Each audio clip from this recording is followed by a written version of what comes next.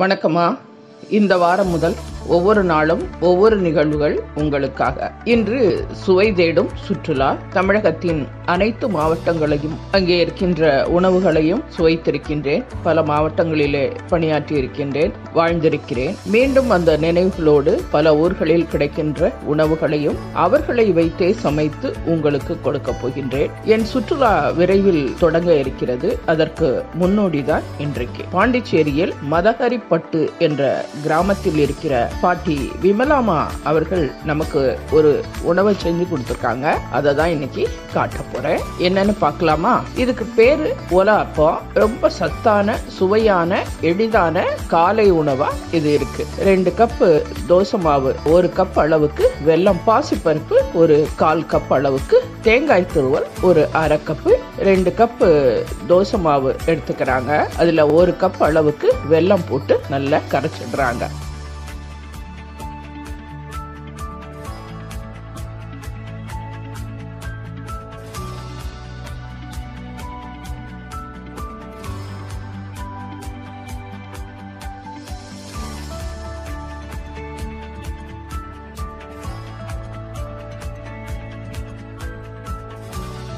பாசிப்பருப்பு ஒரு கால் கப் அளவுக்கு வறுத்து வச்சிடுறாங்க.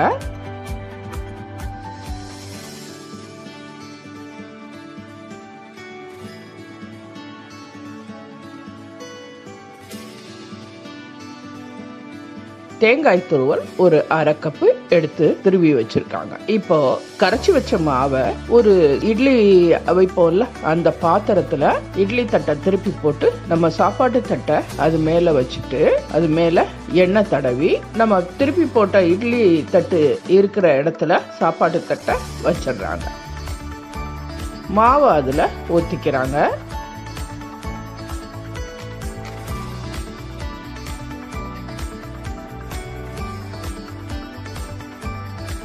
அதுக்கு மேல வறுத்து வச்சிருக்கிற பாசிப்பருப்பை தூவிடுறாங்க.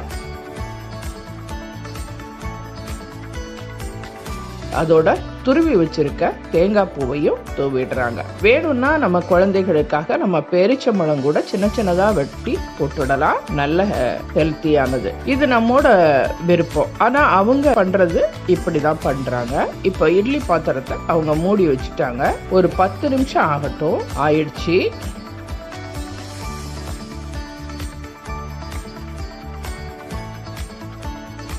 வெந்துட்டான்னு பார்க்குறாங்க அது ஒரு கத்தியால் குத்தி பார்த்து மாவு ஒட்டாமல் வந்தால் அது வெந்துருச்சுன்னு அர்த்தம்.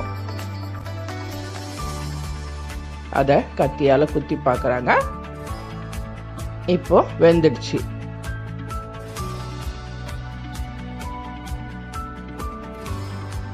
தட்டோட ஓரத்தில் கத்தி எடுத்து அதில் ஓரமாக வெட்டி விடுறாங்க.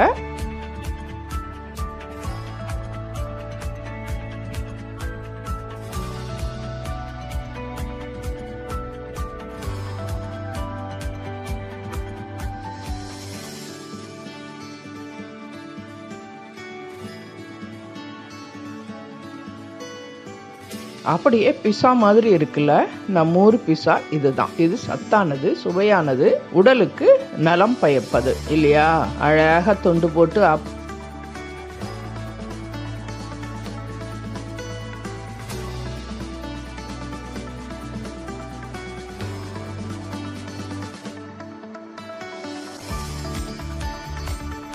அப்படியே